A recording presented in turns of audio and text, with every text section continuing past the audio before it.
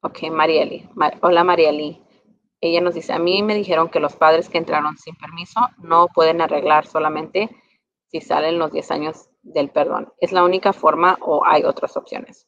Ok, Marieli. So, si vamos a revisar eso. So, si tus papás entraron al país sin permiso y, todavía están aquí, la única manera de pedir un perdón es si pueden mostrar sufrimiento extremo a un esposo o padre ciudadano o residente.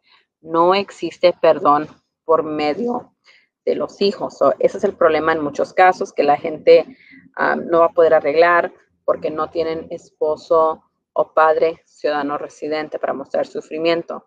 Pero sí hay otras maneras. Por ejemplo, si uno de los hijos ciudadanos o residentes eh, están en servicio militar, hay un permiso especial que se puede pedir para que los papás puedan arreglar aquí mismo en los Estados Unidos si se muestra el sufrimiento a ese hijo, si, si, no, si no los permiten. ¿okay? La otra manera eh, sería si tienen una petición vieja amparada bajo la ley de 245i, que quiere nomás decir que es una petición por medio de otro pariente antes del 30 de abril del 2001. Okay, so esas serían maneras de evitar el castigo de 10 años. Okay, so en muchos casos sí hemos hecho peticiones donde el hijo es el que pide el papá, pero digamos el papá tiene una mamá que es residente permanente.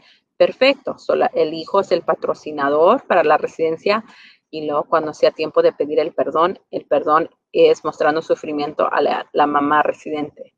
¿Ok? So, eso sería una manera de evitar um, un castigo de 10 años. Si no, la única otra manera sería salir del país por 10 años y luego después de 10 años